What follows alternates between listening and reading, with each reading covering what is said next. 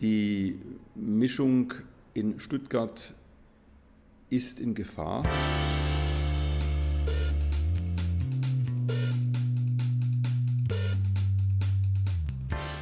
Ist in Gefahr deswegen, weil insbesondere in den innerstädtischen Wohnquartieren die Miet- und auch die Kaufpreise erheblich angestiegen sind und äh, einkommensschwächere Haushalte an die Ränder der Stadt gedrängt werden.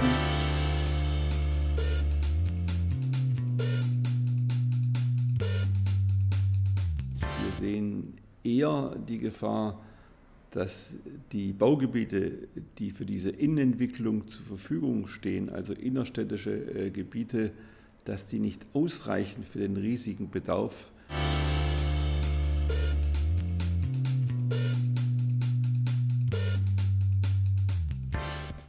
Also ich sehe kurzfristig schlichtweg keine äh, Möglichkeit.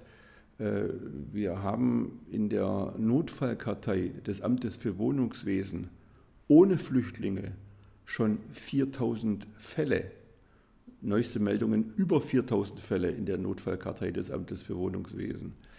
Jährlich werden zurzeit zusätzlich 1500 Wohnungen circa gebaut. Das heißt also nun, um allein den Bestand an denjenigen äh, Einheimischen, die auf eine Wohnung warten, abzubauen, wird man Jahre brauchen. Wenn jetzt die Flüchtlinge noch mit einem Wohnraumbedarf dazukommen, dann kann es nur sein, dass die sich genauso anstellen müssen in der Kartei des Amtes für Wohnungswesen, wenn sie sich nicht auf dem freien Markt bedienen.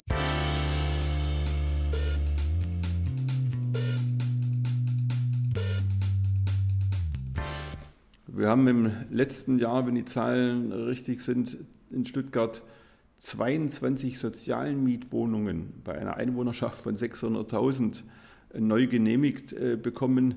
In diesem Jahr äh, sind es bis Juni, Ende Juni ungefähr 45 Sozialwohnungen gewesen. Das ist viel zu wenig, viel zu wenig.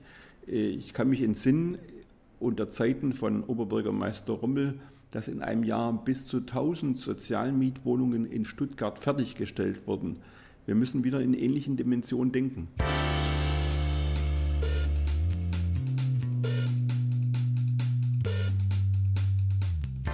Ich sage jetzt mal ganz einfach, das Bündnis für Wohnen müsste ausgeweitet werden auf ein Bündnis Wohnen Region Stuttgart.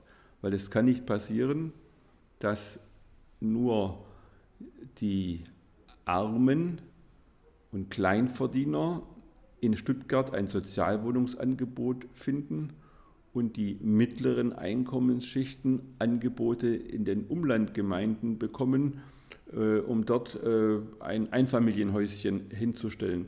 Das äh, ist für die Sozialstruktur auch in der Region nicht gut. Es ist auch darüber hinaus ungerecht. Also alle Kommunen, alle Städte in der Region müssen gemeinsam an einem Strang ziehen und die Wohnungsprobleme der Gegenwart und auch der Zukunft äh, angehen.